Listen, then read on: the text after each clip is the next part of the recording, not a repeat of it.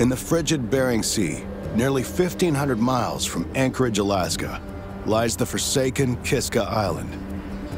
Kiska is right at the end of a chain of American islands that stretch far into the North Pacific. It's actually closer to mainland Russia than it is to the United States. This uninhabited volcanic island is only 22 miles long, and it's covered in snow and thick fog for much of the year. It's so wild and remote, only researchers with a permit are allowed to step foot there. In the summer of 2018, a team of archaeologists take advantage of the break in the ice and snow to study the island. At the top of a grassy hill, they come across a long metal object embedded in the dirt. This thing is big, and it looks heavy, like it's made of steel. It's cut into the banks of a little gully. It's kind of eerie. It's riddled with holes of all different sizes and shapes. There seem to be big chunks missing, and it's completely rusted out.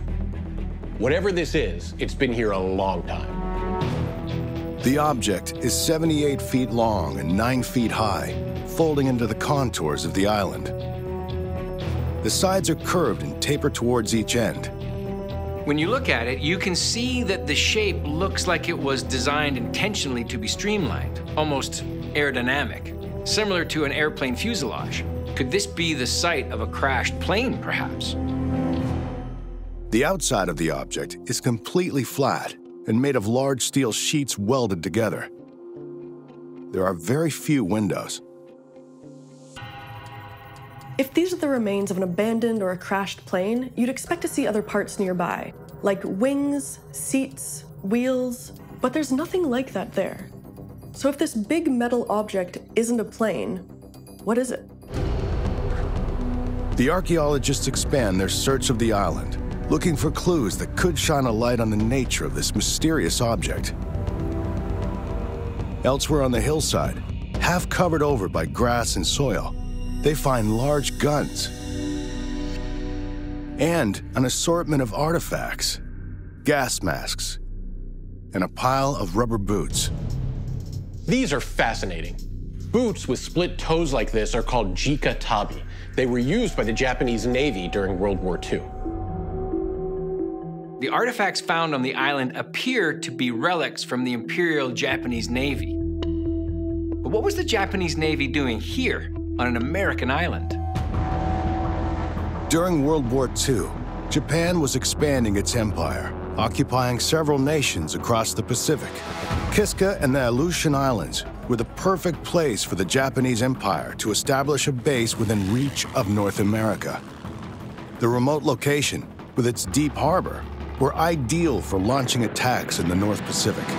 On June 6, 1942, the Japanese attacked the American weather station on Kiska, taking control of the island. By the end of 1942, over 7,000 Japanese troops were stationed on the island. They used the next year to build infrastructure, preparing to defend their new territory. As they continued to explore, the researchers found evidence of barracks and tunnels built underground. The Japanese Navy were clearly expecting to be there for a while. Researchers wonder if the rusted machine on the top of the hill was part of the Japanese arsenal.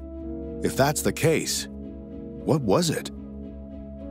When you look closely at the panels, you can see there are very few bolts, which would make it highly streamlined and watertight. The lack of windows and that distinctive compartment on the top are interesting. It looks like the portion of the submarine that sits above the water, called a sail. But Navy submarines are hundreds of feet long and typically manned by dozens of crew.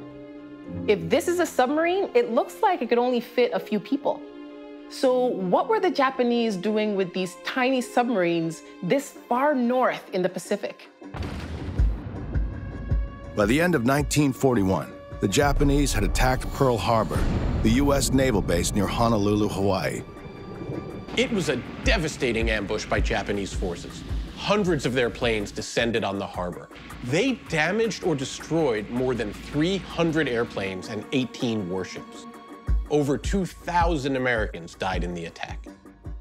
But a little known part of the Japanese Navy's battle strategy was that they would surround the island with stealthy submarines, intended to sink any ships attempting to escape the attack.